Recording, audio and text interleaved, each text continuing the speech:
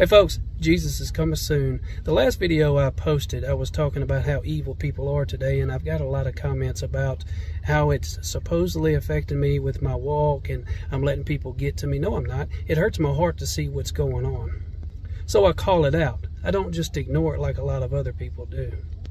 So let's read a few headlines of a few things that goes on all day, every day in this country. Body cam footage Georgia man used his kids as shields in shocking police shootout. Accused beauty queen killer out on bond after allegedly murdering infant.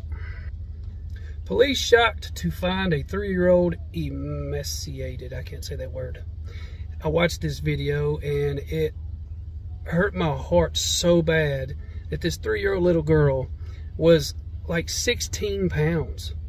And the mother was more concerned about going to jail than her own daughter. 2 Timothy 3 1 through 5 world, folks.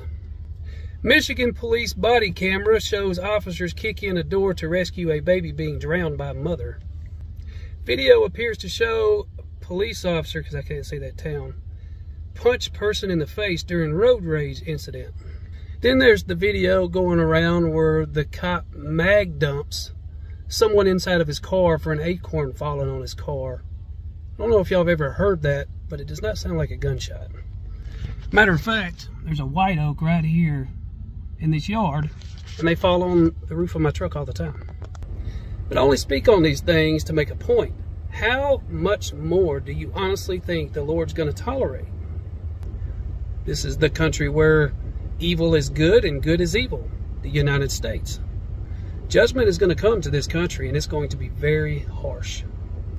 Whether people believe in dreams and visions or not, it's biblical. There's so many people that's had these dreams about this country being utterly destroyed fire and brimstone. We have NATO constantly trying to provoke a war with Russia and China non-stop. Where did they draw the line? I honestly believe the Lord is holding it back right now, but it will happen very, very soon. But as I said, folks, none of this stuff going on affects my walk with Christ. None of it.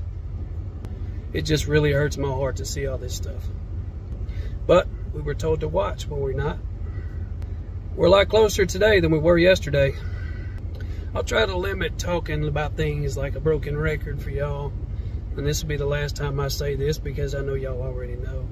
The meanest people come inside the church. I should say come from inside the church. I guarantee it, somebody somewhere will post in the comment and agree with this. More people have been hurt by people inside those church buildings than they have sitting in their house reading their own Bible. That goes for pastors and people inside the church. They're so mean. A lot of them. Been in quite a few church buildings, and if you go and look, that's why the pews are always pretty much empty. No one wants to listen to it anymore. Nobody wants to be gossiped about. Nobody wants to go in there and have fingers pointed and, and snobbiness and, and all this other stuff.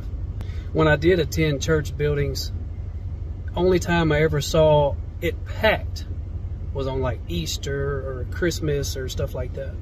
And then when the people do come, they get judged. Well, you haven't been. You don't come every Sunday. Well, it's not about that.